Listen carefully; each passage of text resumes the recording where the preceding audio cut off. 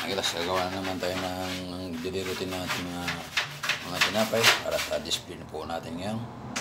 Dito na, mayroon na tayong na timbang na 4 kilo na first class uh, hard flour. May, na- may 100 grams na tayong yeast. May ano na tayong 32 grams na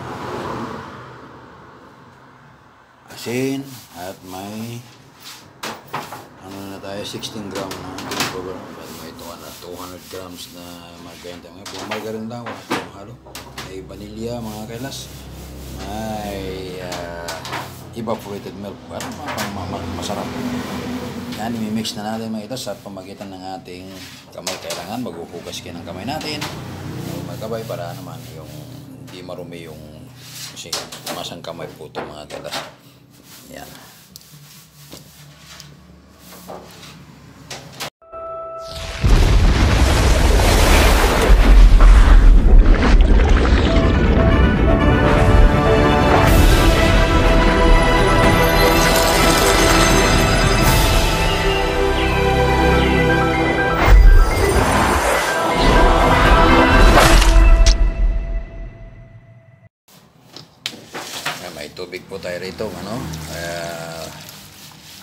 Isang one of the, ang ano, babali 4 times 4 ko 16. 16, uh, 16, uh, 60, mga 1,600 mga kadas yung apat na kilong ano. Apat na kilong harina. Kasi kung masang kamay, kailangan, per kilo mga kailas, kailangan 400 grams ang ato na ano natin. Yan, ganun na natin palagi to. Para makita yung basic, ah, basic na manual na paggawa ng tinapay mga kailas. Yan, na-vlog ko na to minsan, pero hindi masyadong ano. Mix lang yun ng ganyan ah. Mix para ma-mix yung mga nilagay natin mga ingredient mga galas.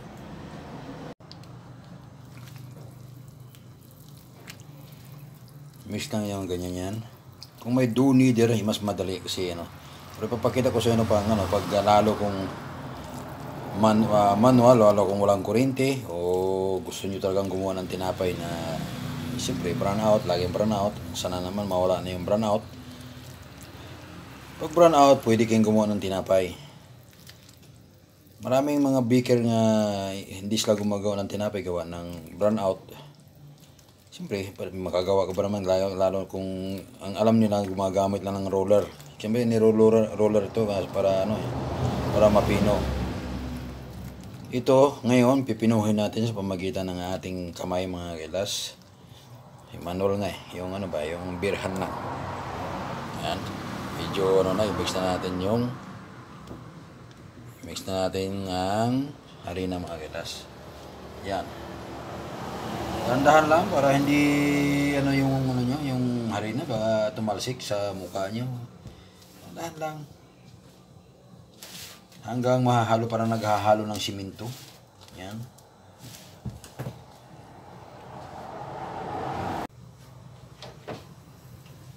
Ginagamit ko itong measurement mga kilas para hindi na ako magtimbang-timbang. Ano, accurate ito mga kilas. Ang apat na kilo nito, ay isang ganito, at saka one fourth mga kilas. Sakto doon sa tubig doon sa ano. Mag-add ka man, pero kunti lang. Yan. Yung ano measurement ko. Pag- Pagka timpla kayo, gumawa ka ng measurement nyo para hindi na kayang timbang ng timbang. May ma, pwede bumili, may mabibili naman mga measurement eh. Mga ano, sa akin, yung measurement ko yan, yung ano lang. Pinoy nga cup nga ano. Ah, tawag yan, yung pitchil. Tawagin ba, pitchil ba sa inyo yan? Yan, medyo, ano na, medyo na, ano natin yung ano natin. Yan, medyo na-mix natin mga galas. Na flour, mixture na natin. Ang gamitan lang yung ano. Yan. Ikot-ikot kasi yung kamay natin nasa, nasa camera mga galas. Yan. Ngayon, nilalagay na natin sa lamisa mga galas. Lagay isa mga kailas.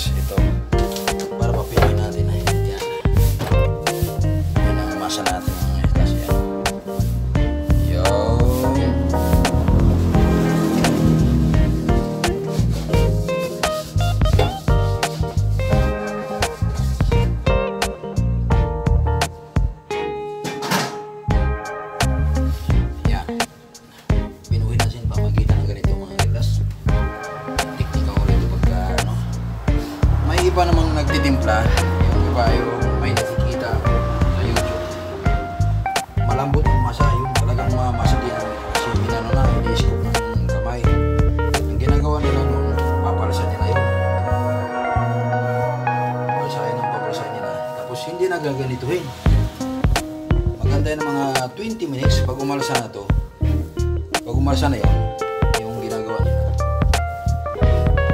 Sa kanila ilalagay sa pan.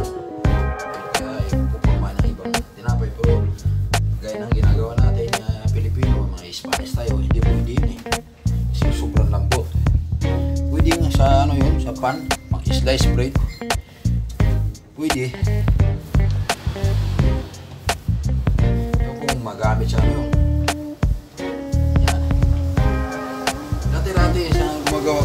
Nilalagyan namin ng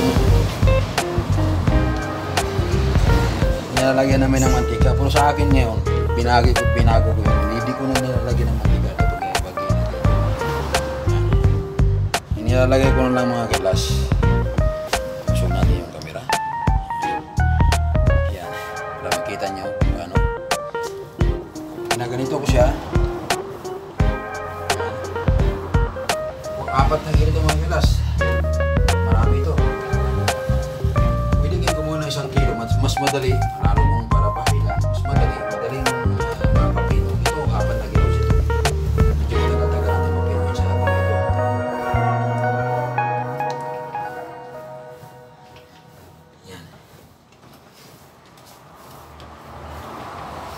Ang nilalagay ko mga kilas, hindi mantika. Ito, harina.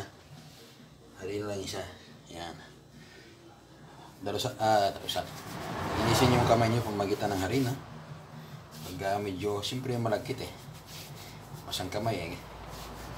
Ganun mo lang yan. Yan.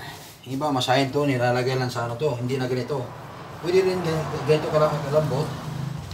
Gagawin mong papalasahin mo siya ng ano, mga 20 minutes. Sa ito i-pants down mo para pumino. Pero gusto kong madalian eh, parang instant ano eh. Marami pa mga maraan para kahit manual lang, maganda yung mga resulta ng ano nyo. Yan. Repeat lang nyo yan hanggang mapino mga kailas. Yan, pino na mga kailas. Napino na natin. And forward ko yung kasi masyadong ano, eh, nasa 20 minutes ang pagpapino na ito mga kailas.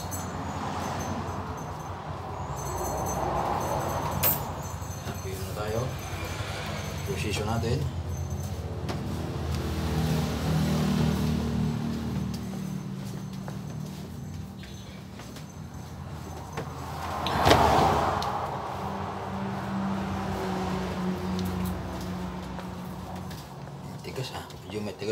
Mga guys, pero okay na to.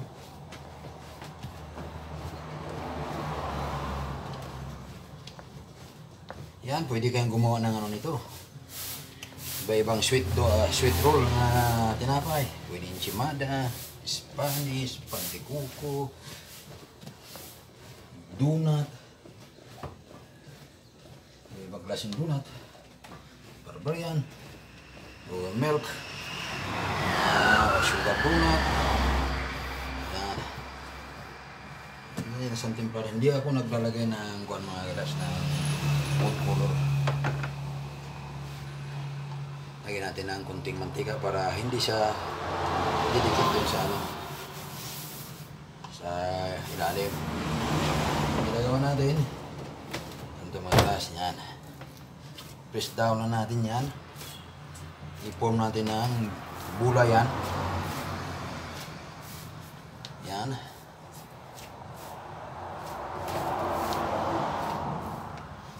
Lampasan ng 20 minutes mo yun ako. Nakita niyo mga kilas? Nakita niyo mga nas- resulta? Yan. Kinis na mga kilas.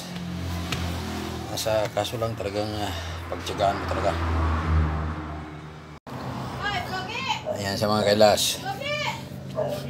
Makita nyo. Di ba? Kikinis pa mamaya yung mga kilas mga after 20 minutes. Eh, pants down tayo ulit yan. Pants down ulit natin yan. Lagyan natin yung kunting. Ito?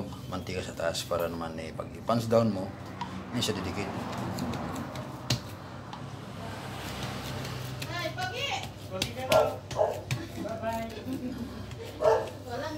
Yan.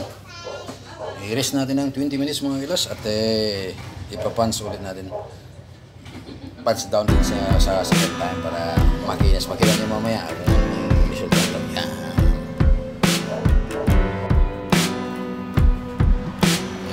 Kilas, na natagyapan natin ng silupin.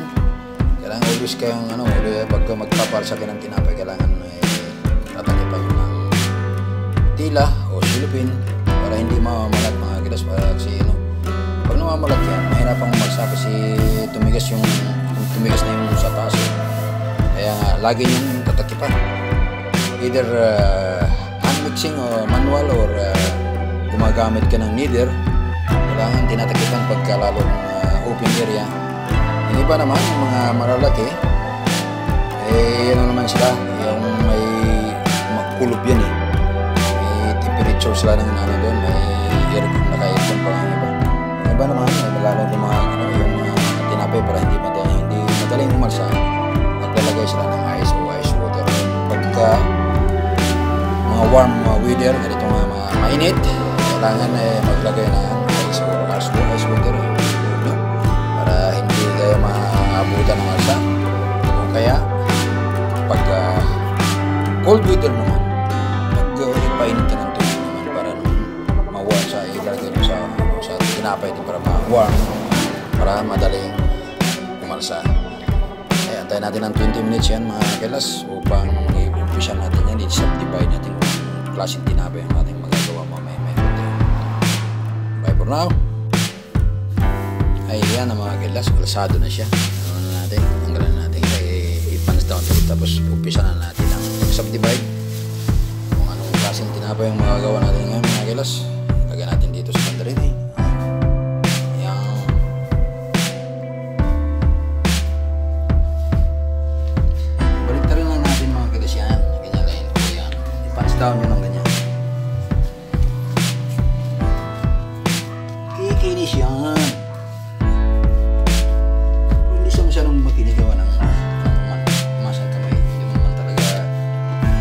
matatalo yung makina talaga mga kilas yung talagang hanggang dyan lang yung masang kamay. Hindi, hindi, hindi naman tayo robot para anuhin mo yan. Tapos balik pa ganun mo lang yung ganyan. Ganun ang ano dyan para makinis siya.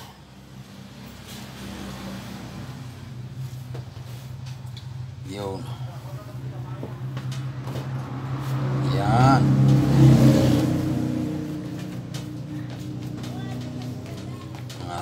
papaya yan siya mga galas yun. Kung nakita nyo di ba? Ayos.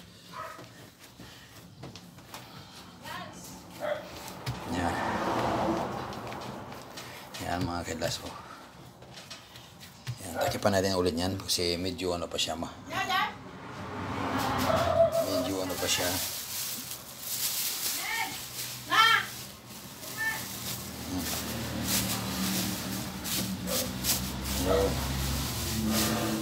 Sumunod kayo ah. Bagas ka mo. Sino?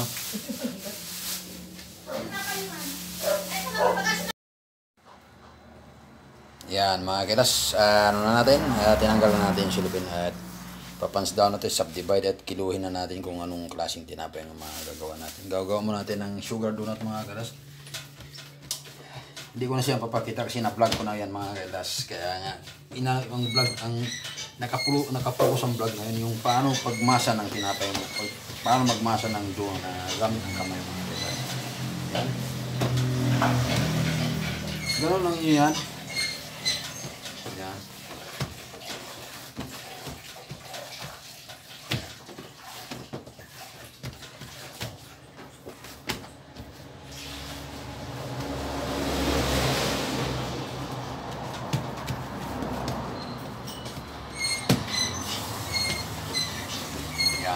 Punch down na natin mga kailas yan.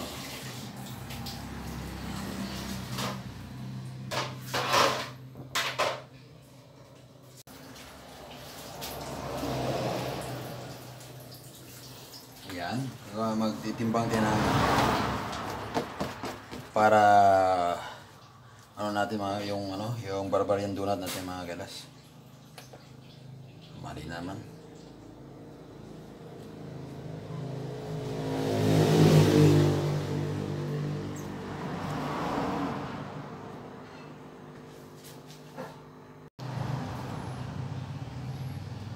Yan, nawit na natin. May itong pang ano natin, pang sugar donut, pang display naman mga kailan. At saka ito sugar, ah, itong barbaya natin, ito sugar natin. Hindi ko masyadong uh, pinakikita kasi na vlog ko na ito mga kailan. Eh. Yung nakapost lang tayo sa kung paano magmasa ng manual na pamamaraan.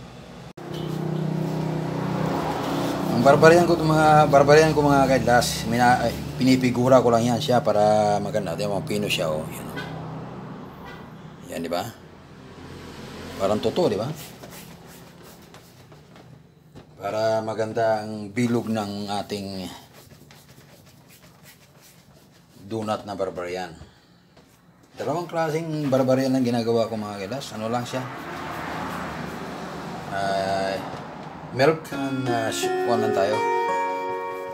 Chocolate, dark chocolate. Ayan.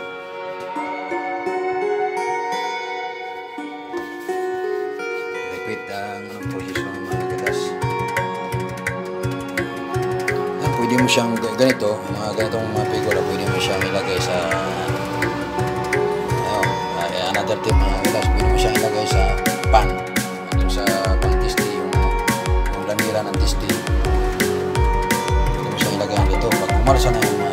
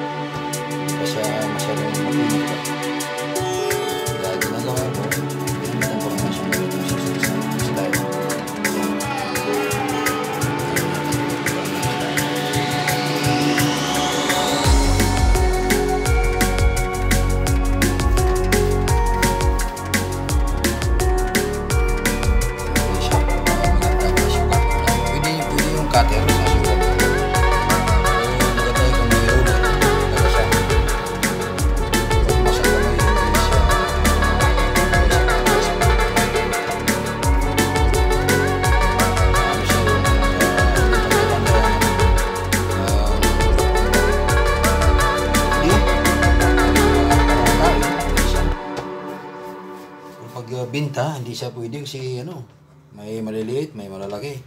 Maganda itong mga ganito kasi titimbangin mo lang siya ng 40 grams, yan. Tapos ba, bibilugin mo lang pa, bibilugin mo lang siya pag ano. Yan. Yan oh. Pag ano na, oh, di ba? Mm. Eh, ayos din naman, di ba? Yan, may glass picturean na ah, video natin ng sanglit. Yan ang sugar donut natin, nga bilog at saka itong twister donut natin. Ito na mga gilas, oh, yung kabuuan ng ating ginawa ng ginawang apat na kilong minasa natin sa kamay. Mga gilas, may enchimada tayo, may special pandesal tayo, may overall tayo, may vanilla roll tayo, at may red velvet uh, roll tayo mga gilas. At Tayo ng ano natin, yung barbarya natin na palamanan ng mga kailas. At tayo ng twisted. Malapit ang maubos mga kailas at yung donut, sugar donut natin. Twisted, twisted donut sugar. Yan. Yun ang kabuuan natin. Yung may pandesal pa tayo. Yan. Sa isang timpla lang yan mga kailas.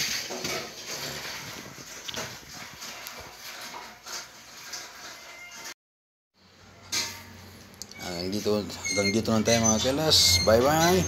And don't forget to subscribe and then hit notification bell para ma-notify kayo sa ating susunod na upload mga kailas. Bye-bye once again mga kailas.